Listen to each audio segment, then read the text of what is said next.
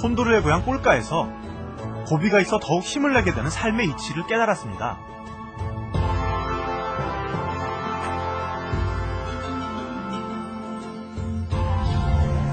수백 수천 년의 장구한 세월을 품은 이 땅의 유적들은 후손들에게 여전히 풀어야 할 수수께끼로 남아있는데요. 오랜 세월 함께 해온 안데스 지역의 맛도 함께 느껴봅니다. 우야 미안해. 늘 새로운 모습으로 절 감동시키는 페루. 오늘은 수수께끼의 땅으로 떠나봅니다. 어릴 적 세계 7대 불가사의라거나 세계의 미스테리와 같은 책들을 보며 상상의 세계로 빠져들곤 했습니다. 클릭 한 번으로 세상의 모든 정보를 검색할 수 있는 세상이지만 아직도 수많은 고대 문명의 유적들이 신비의 베일에 쌓여 있는데요. 오늘 여정은 남아메리카 고고학 연구의 중심지 나스카에서 시작합니다.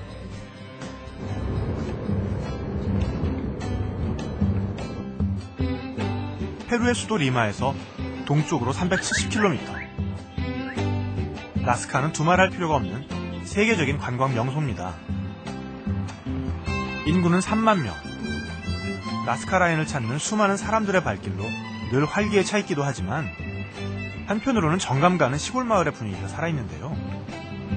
태평양 연안과 안데스 사이에 자리 잡아 1년 내내 건조한 날씨가 지속되는 것이 특징이기도 합니다.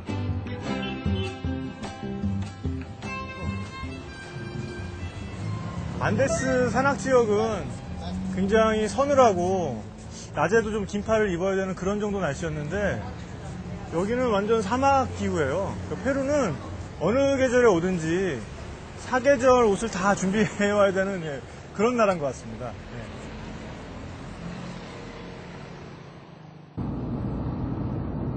그 유명한 나스카 라인을 보기 위해 출발한 길. 시내에서 공항까지는 차로 10여 분이면 충분하다는데요. 지금까지 봐왔던 페루의 풍광과는 또 다른 느낌입니다. You can see the hills in both sides. The hills are reddish color. That's iron. All the land to the right and to the left, it's it contains a lot of iron on the surface. It's not land. It's not sand.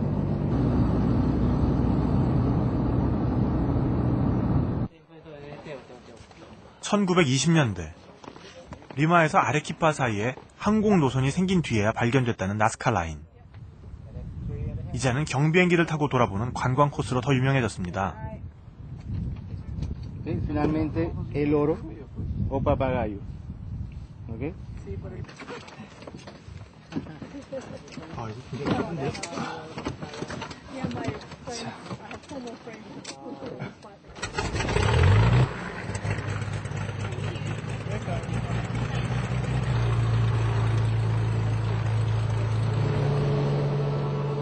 드디어 출발입니다. 육인승 경비행기로 진행되는 이 투어는 보통 오전 시간에만 가능합니다. 비스듬한 햇빛에 나스카 라인의 그림자가 선명하게 드러나야 알아보기가 쉽기 때문인데요.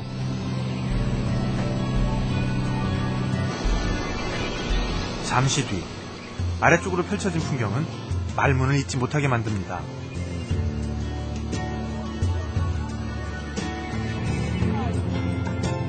고대인들이 그린 것이라고는 도저히 믿어지지 않는 정확한 선들이 곳곳에 흩어져 있습니다. 굳이 말로 표현하자면 지구상에 존재하는 모든 선들 중 가장 신비하다고나 할까요?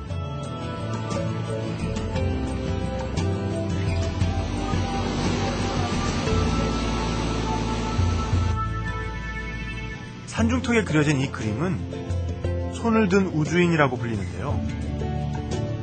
나스카인보다 먼저 이곳에 살았던 파라카스인이 그린 것으로 추정된다고 합니다. 곧이어 그 유명한 나스카의 원숭이가 모습을 드러냅니다. 정확한 동심원을 이루는 꼬리가 볼만한데요. 나스카 라인은 처음 발견된 지 80여 년이 지나도록 여전히 베일에 쌓여 있습니다. 소재도 다양합니다. 과거 잉카인들이 천상과 인간을 연결해주는 존재로 믿었던 콘도르에서부터 아마존 열대우림의 오지에만 서식하는 희귀한 거미 심지어 고래까지 이 건조한 평원을 헤엄치고 있는데요.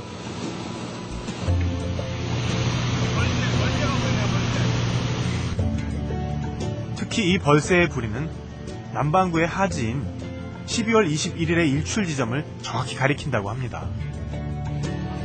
훨씬 더 거대하고 어, 훨씬 더 대단한데요. 정말 30년 전 사람들이 저런 걸 만들었다는 게 정말 믿기지가 않아요.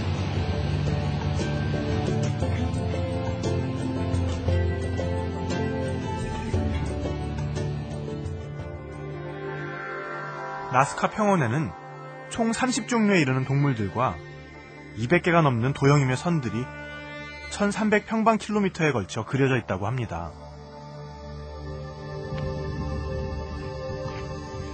대체 누가 무엇을 위해 이런 그림을 그린 걸까? 그림에 좀 더 가까이 가보기로 했습니다.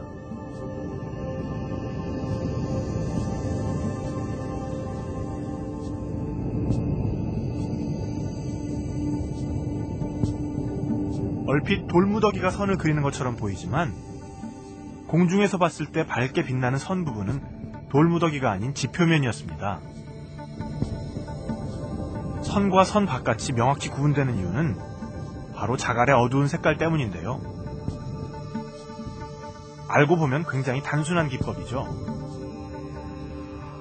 You know this soil is not uh, just dust? Here have uh, two different layers. The first layer is just small rocks and stones and different minerals, like uh, iron, copper, and volcanic stones. And the second layer is just about cal, gypsum, sand, and clay. That this this line is uh, origi- original part, right? And this is the this where people remove some some stones. Exactly. Here is still the first layer up there. Here is is about these stones, gone. They put away because this is the technique. 광활한 평원을 도화지 삼아 만들어낸 그림은 지금으로부터 2500년 전에서 1400년 전 사이에 그렸을 것으로 추측될 뿐 정확한 시기조차 알 수 없는데요. 지금 제가 나스카 사람들이 만들던 대로 여기다가 동그라미를 하나 그리고 있는데요. 생각했던 것보다 굉장히 방법이 간단해요.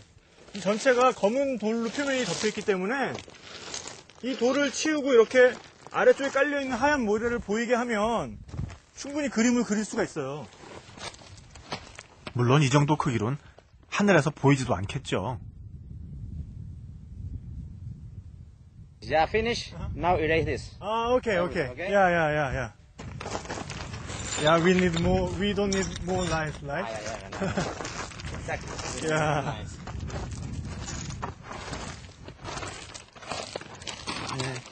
Okay, good. And nowadays are making more Nazca line. For example, the politics. Yeah. No, uh, many, many propagandas, politic propaganda, Uh. uh, writing the names to the people uh, over the mountain with the same Nazca technique.